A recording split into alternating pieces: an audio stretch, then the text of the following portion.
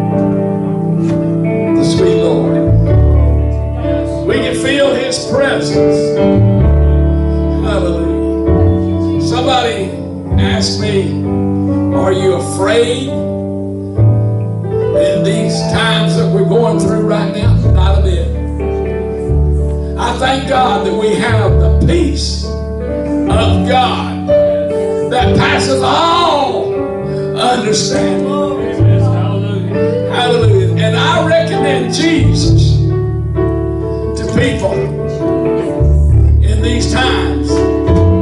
Like I said the other day, we're living in perilous times. That word perilous means dangerous times. The world don't know what to do. People of the world are saying they've never seen like this. And I'm 72 years old. I've never seen times like these we're living in. I've never seen everything shut down.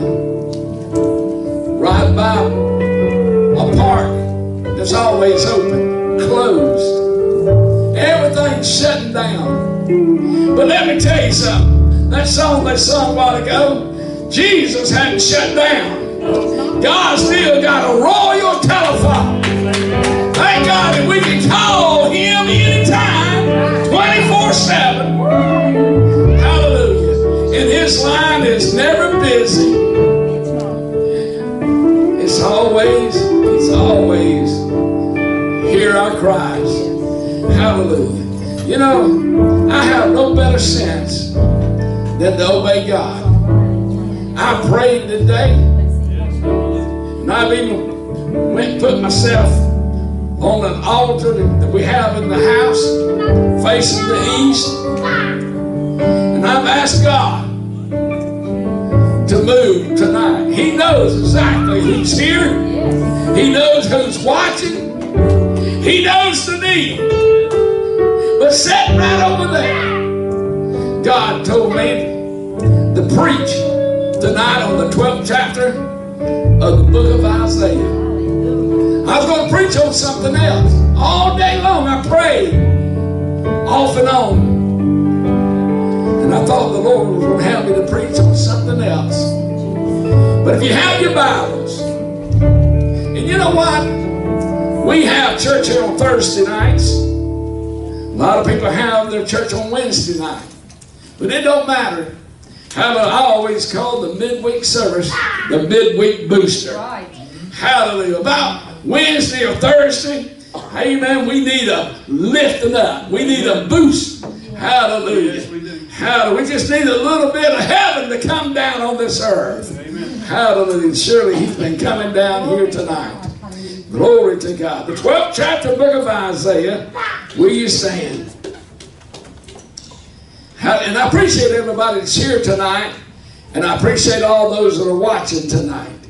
Hallelujah. In that day, thou shalt say, Oh Lord, I will praise thee. Though thou was angry with me, thine anger is turned away, and thou comfortest me. Hallelujah. Yes, we sometimes get God angry. Yes, we upset him by the way people live. And right now, I believe God is angry with the United States. I believe God is angry with the whole world. Amen. But you know what? I found out he won't stay angry. Hallelujah. Listen to verse 2. But behold, God is my salvation. Nothing in this world is your salvation but God. I will trust and not be afraid. For the Lord Jehovah is my strength and my song. He also become my salvation. Heavenly Father, we thank glory to God. We thank you for the Word of God. And God, I'm asking you, Lord, let the Word of God come forth. God, let it have its free course. God, you know what we have need of. And I'm asking you, Lord, to anoint us to speak thy word for the next few moments. In Jesus' name we pray. Hallelujah. You may be seated. Hallelujah. I think I'll read it again and let it bless my soul. There's nothing no more comforting than the Word of God. Hallelujah. The Bible was written as man was moved on by the Holy Ghost. And I want to tell you something, there's nothing any better than the Spirit of God to comfort us in times like these. Let me read that verse 2 again. Behold, God is my salvation, and I will trust. You know, it's still on our currency, it's still on our money. In God we trust. I'm not afraid of what's going on because I know my God is going to take care of his people. Behold, oh, God is my salvation, and I will trust and be not afraid. Hallelujah. For the Lord Jehovah is my strength. I've been asking God for strength. You get as old as I am, you'll pray every day for strength. And He's my song. He also become my salvation. Verse 3. Therefore with joy shall you draw water out of the wells of salvation. I thank God for the fruit of the Spirit. Love, joy. And I intended to not let anything take my love of God or my joy. Hallelujah. A lot of people have lost their first love, they lost their joy, they lost their peace. But we cannot let trials, we cannot allow tribulations to rob us of our joy. Can you say amen? Amen. I want to read verse 3 again.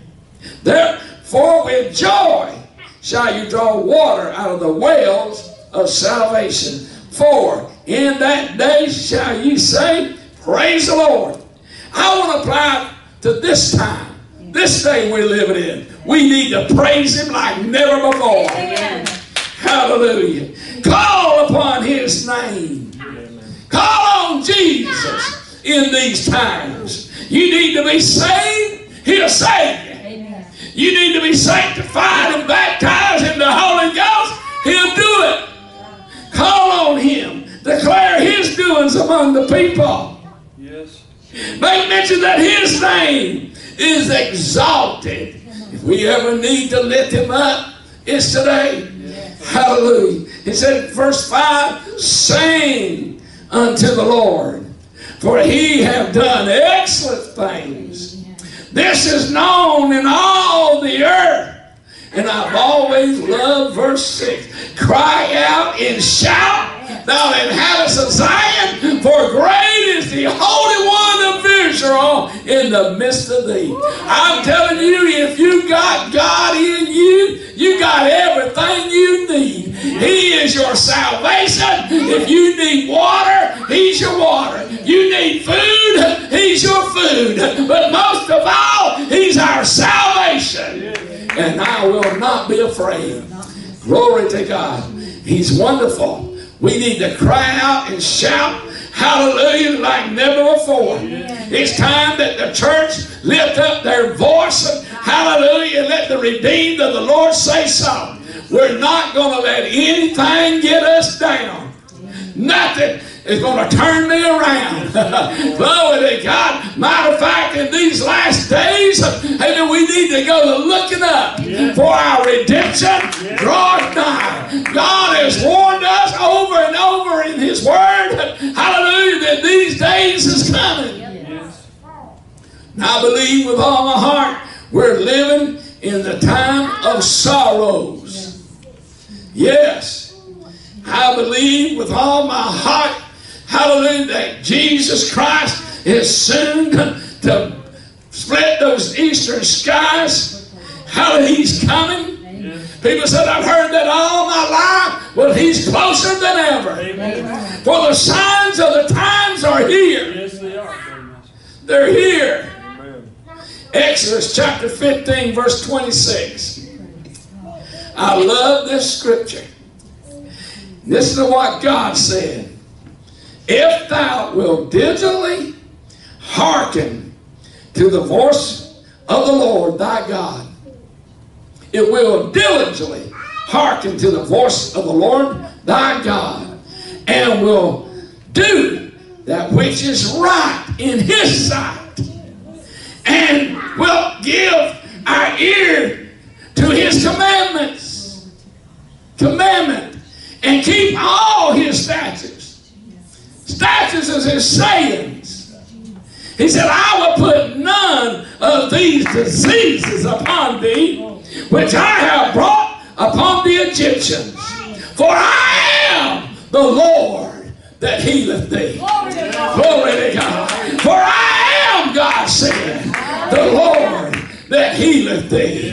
Oh, my Lord, have mercy. Brother Massey, what will you do if you catch the virus? I'll praise God louder.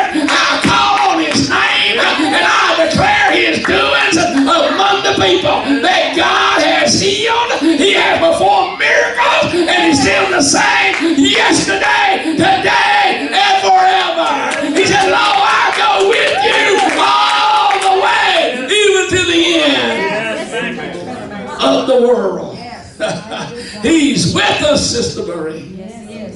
He's with us, Brother Johnny. I'm telling you, Angela, he's with us. Oh, I'll never leave you, he said. Glory to God. Meshach, Shadrach, and Abednego. They were cast into the fire because they would not bow to the image that the king wanted them to bow to. An idol. Uh-uh. They wouldn't bow. And I want to tell you, they wouldn't burn. Amen. God's going to have a remnant. He's going to have a people that's not going to bow. Hallelujah. I'm going to serve God. I made up my mind when I got saved years ago. I'm not going to let nothing separate me from the love of Christ. Hallelujah. You know, the Bible says, I, I quoted this the other day men's heart failing them for the fear of the things that's coming on the land. I, I want to tell you, somebody said you're faking. No, I mean it with everything within me. I have no fear of this virus. I don't. I didn't have no fear. Laid hands on people that had AIDS when that was rampant. Jesus laid hands on the leper, lepers, the sick and the disease, and never caught it. Hallelujah. And there's a lot of preachers doing all these times in past, laid hands on people, prayed for, and never caught it. I am sealed. Glory to God. The angel of the Lord encamped. That word encamped means live around those that fear him. The only fear I have is to fear him. Yes, yes. Hallelujah. Hallelujah. People don't fear God. And I believe judgments come on the world today. Because if you'll read Deuteronomy chapter 28, starting in verse 15, there's a lot of disease, plagues came on people because of disobedience. Wouldn't keep God's commandments or his statutes, his sayings. And the wrath of God has come upon people. I believe this is nothing. People say it's going to get better. I said it's going to be like a roller coaster. There's something on its way. More is coming. It ain't going to get no better, church. But we don't have to let it get us down. Can you say amen? When I read this scripture, I felt the power of God. God said, For I am the Lord that healeth thee. Hallelujah. Hallelujah. No matter what the sickness, no matter what the disease is, God is a healer. Jesus received stripes on his back for our healing. Every sickness, every disease, I believe he received the strike on his back for our healing. Isaiah 53, verse 5. And with his stripes we are healed. Glory to God. Matthew chapter 10, verse 1. Listen to what Jesus gave his disciples. And if you're a follower of Jesus, you are a disciple today. He gave them power against all unclean spirits. Glory to God. I read that today and I said, yes, there's not an unclean spirit that we don't have the power over. In Jesus' name. Greater is he that's in us than he that's in the world. There's a lot of unclean spirits in the land. But I want to tell you, Jesus gave his disciples, he, he has given us the Holy Ghost. He gave power against all unclean spirits to cast them out. You and I have the power through Jesus to cast those evil spirits out. Hallelujah. Hallelujah. Listen to this. And to heal all manner of sickness. All manner of sickness. In all these years I've been serving the Lord, I've come up against a lot of sickness. But I've never seen God fail one time. He's always healed the Massey family. Always. Not every time when we call on Him.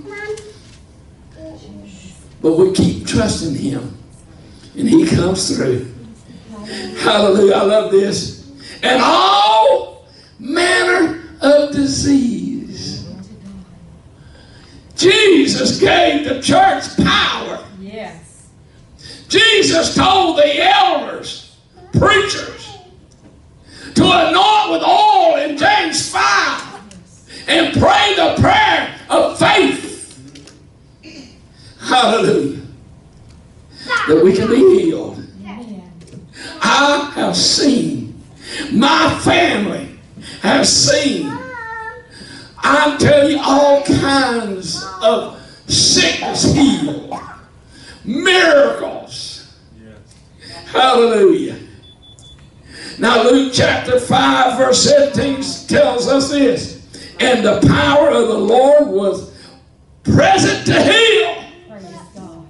Hallelujah. What we felt here tonight is the presence of God. And I feel His presence right now. I feel that power to heal right now. Now, the Lord is that Spirit. And where the Spirit of the Lord is, there is liberty. Yes, the doctor told you you have an uncurable disease. I know of people after people. The Bible said in Isaiah, declare his doings among the people. Yes. Make mention that his name is exalted. Yes. There's not a sickness.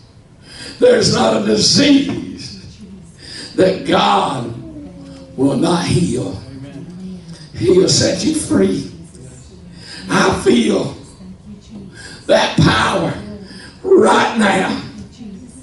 Hallelujah. Maybe somebody's watching. Maybe somebody here tonight. I'm telling you what. Hallelujah. AIDS are bad. But right here in Lakeland, Florida, a young man stood up, testified to the people. He said, I used to be a nasty homosexual. I thought all homosexuals were nasty. But he said, I was a nasty homosexual. But he said, God set me free. He said, I had AIDS and God's healed me. I see people was healed. How of fact, I've had the privilege to pray with people that had AIDS. And they're healed. And that was 25 years ago. They're still healed. God don't halfway save and he don't halfway heal. He is the God that healeth thee. Hallelujah. After all these things, they come on the children of Israel because uh, they didn't want to keep the commandments of God. You read it when you get home. Read the 28th chapter, hallelujah, Deuteronomy starting in verse 15. And then when you get through reading all those curses and plagues and disease that come on the people, even back mentions the eyes and mentions the knees, that ain't nothing but arthritis. Oh, I'm telling you, blindness and madness. I'm telling you a lot of things. Names them. Uh, but I'm here to tell you there's not one that God cannot heal. I believe every strap on his back, uh, it was every healing uh, that you can think of. Yes, hallelujah. Woo! Amen. Let me, let me read to you in 28th chapter of Deuteronomy, verse 60. Moreover, he will bring upon thee all the diseases of Egypt, which thou was afraid of. Mm-mm-mm. Verse 61 of the 28th chapter of Deuteronomy, and I'm sitting to close. 61 of the 28th chapter of Deuteronomy. Also, every sickness and every plague which is not written in this book. Wow. Amen. Somebody said, well, the Bible don't mention my sickness. It don't mention my plague or disease right here. Also, every sickness and every plague which is not written in the book of this law, them will the Lord bring upon thee until thou be destroyed. All these new names, this took care of it. Amen. There's not a disease known to man, and the one to come, a new one. Come on. That's what he's saying here. Jesus. Even those to come. That's not mentioned. I'm telling you, no matter what it is, my God, he said, I am the God that healeth thee. Amen. Hallelujah. I'm going to preach divine healing until the day I drop. Lord. Hallelujah. If I drop with a heart attack, God still heals hearts. I've had people to give me their heart medicine. I said, I don't want it. Go home and flush it. Next time I saw them, they said they flushed it. Hallelujah. And I'm thinking of one right now up in Virginia, and that's been about 35 years ago. He's still alive. God don't halfway save, and He don't halfway heal. Amen. I know people that was hooked up and had to be dialyzed three times a week. Come off of it. Amen. Glory to God. I'm going to tell you when God heals, He's healed. Yes. Well, the doctor tell you you got to live with it. Yeah? Amen. He's telling you the truth. But I'm here to tell you Jesus received stripes on his back for your heart, your lungs, your kidneys, every sickness, every disease that you could ever think of, and those you never heard of. He is a God that healeth thee. Glory to God. That makes an old man want to shout. I want to preach divine healing. Jesus gave the disciple power to go out and heal the sick. He said, preach the gospel. And the gospel is the good news that Jesus saves. Yes. Hallelujah. Thank you, Jesus. The kingdom of God is at hand. Yes, it is. But yet preach that he heals. Hallelujah. He gave us the power. Ooh, I might want to preach just a little bit more. Hallelujah. Let's jump back to Deuteronomy 28, verse 15. I was going to hold it for next time. Read Deuteronomy when you get home. Or you home tonight. Won't you cut the television off early? Grab your Bible. Amen. Read Deuteronomy 28, 28, Deuteronomy 28, 28. My daddy taught me something. He said years ago, if you want to get up, somebody wants you to get up at 4 o'clock, go fishing, or 3 o'clock, 5 o'clock. He said, in your mind, or you take your finger, whatever, if it's 4 o'clock, write 4 on the wall. Or say it three times. I got to get up at 4, 4, 4. Guess what you would do? You'll wake up at 4. Three times. My wife would tell him, Ronnie, don't let me forget to pick up something or or remind you know you, you got these reminders on your telephone now. That's for you rich folks. I'm telling you, the modern technology, fantastic. So I said, what? She'd tell me, I said, all right, I'm going to repeat it three times. Guess what I do? Charmaine, I'm reminding you. Hallelujah. But I'm telling you, just do it for me. Deuteronomy, do it for God's sake. 28, verse 15. Well, and read. You're going, to do some reading. Deuteronomy 28 is a long way there. But then when you get through, read Deuteronomy chapter 28, verse 1 through 14. If you'll keep his commandments, you're talking about blessing, and everything you set your hand to, he'll bless it. If you'll live right. Deuteronomy chapter 28, verse 15, I got to hurry. But it shall come to pass. It's going to take place. The judgment and the wrath of God is going to take place if you like it or not. Somebody said we ought not to be pre- you preachers ought not to be preaching doomsday.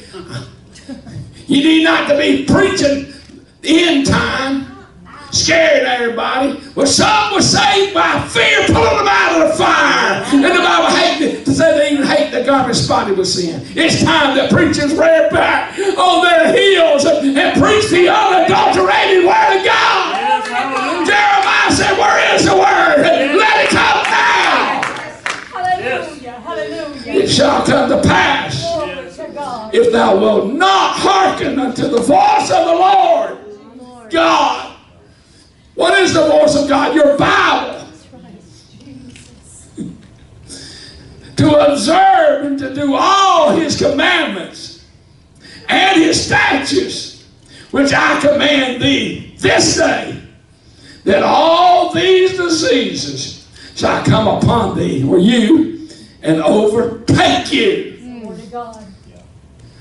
Hallelujah. God didn't just give us the commandments just to say we got the Ten Commandments. He didn't just say all these sayings just to be talking. He wants people to live right. Verse 16 Cursed shall thou be in the city, and cursed shall thou be in the field. I want to tell you this new virus, amen, is in the city and is in the country. If you don't live right, cursed be you in the city, and cursed be you in the field country. You cannot run from the wrath of God. You sin, you gonna pay. Vengeance of mine, saith the Lord. Verse 22 The Lord shall smite thee with a consumption and with a fever. What's the first symptoms of this new coronavirus? Fever. Right here in Deuteronomy 28. And it goes on and on and on. One place, maybe I'll, I'll look at it. Like I read it, if I can find it right here. Well, well, somebody shout amen. Amen. I felt led the Lord to read it. Glory to God. Your way, sweet Jesus. Thank you, Jesus. Thank you, Jesus. It shall come to pass. It's going to come to pass. If we don't get right with God. Deuteronomy 28. Oh, Lord, help me, Jesus. One more page here and I'll be at it. In verse 47. These diseases is going to come upon you, these plagues, if, verse 47, because thou servest not the Lord thy God with joyfulness. We can't let the devil rob our joy. You got to get saved and serve God with joy. Joyfulness. If you don't serve God with joyfulness, these plagues are going to come on you, and with gladness of heart, of the abundance of all things. It could be worse. Oh, yes. Thank God. Thank God for what you do have. Amen. And let me tell you something else that's going to come on your children. My, my son ain't going to be with a bent lip or wrist. You better watch what you say. Listen in verse 54. Homosexual mentioned in Deuteronomy 2 54. So that the man that is tender among you will dedicate his eye for evil towards his brother. The spirit of homosexuality will get on your children if you don't keep God's commandments and his statutes. Amen. That's possible for everybody. Amen. Yes. Jesus. Your grandchildren will turn out to be homosexual if you don't serve God and keep his commandments and statutes. I'm telling you, it'll pay us to hearken diligently unto the word of God because all these curses have come. Not just in New York City, not just in the large city, but in the back towns of Kentucky. Georgia, the little towns. Because listen, said, Cursed be thou in the city, cursed shall thou in the field, the country. You can't run from the life, the, the wrath of God. People say, well, if I could just move to the city. No, and then those out in the city, if I just go out in the country, I'll make it. I've had people tell me that miss the rapture. He said, if I miss the rapture, what I do, I just find me a little land with a fish pond on it. Because you ain't going to be able to buy, sell, trade. One day people are going to go to Publix, Winn-Dixie, or Walmart, no food, no can, no bread, no meat, and you're going to have to have the mark of the B666. If you don't have it, you ain't getting it. But if you take the mark of the beast, you're going going to hell automatically.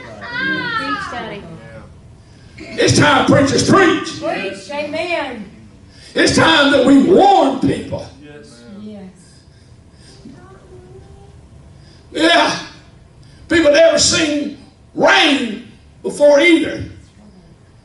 But Noah preached it's going to rain for 120 years.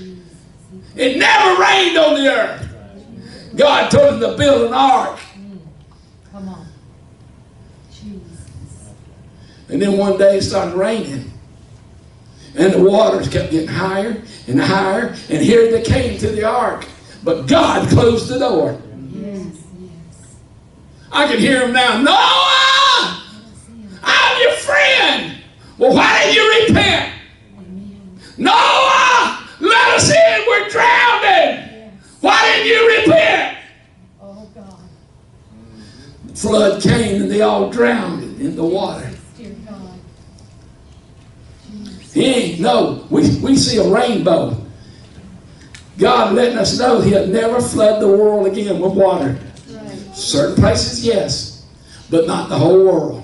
You know what's going to be the next? It's going to be fire. Fire is going to fall from heaven and burn everything up. You don't want to miss the rapture. Blessed are they that are holy and have part of the first resurrection. Yeah. Lot, he didn't move into the city of Sodom, but moved into the wall. Now the walls were wide. Bible scholars tell me that you could line up six chariots across them that were so wide. That was their defense from the enemy from getting in. The walls were wide and thick. They would throw boulders at trying to bust through the enemy. But Lot, he didn't move into the city, he moved in the wall. And that's why a lot of people, they're not in the church, they're straddle. They're not in the world. They're not in the deep sin like homosexuality, but they still lie, fornicate, Yes. commit adultery. Dear Right on the line. They love God, they go to church. You can't serve two masters, Jesus said. But God sent two angels to the city of Sodom and Gomorrah. And the Bible said every man's mind was continually. But God sent two angels to preach. Get out. Get right. Get right. Get out of your sin. Get right. They wouldn't do it. And God rained hell, fire, and brimstone and burnt that city, both of them up. And you know what's there? Jesus. Cause of Lot's wife turning back. She turned to a pillow of salt, and there ain't nothing there but salt. Not even a blade of grass. Judgment of God is coming. Yes, yes. But this time it ain't going to be more water. It's going to be fire. Right. Fire. But you don't have to go to hell. The Bible said hell's not for you. Amen. You can repent tonight, get right with God.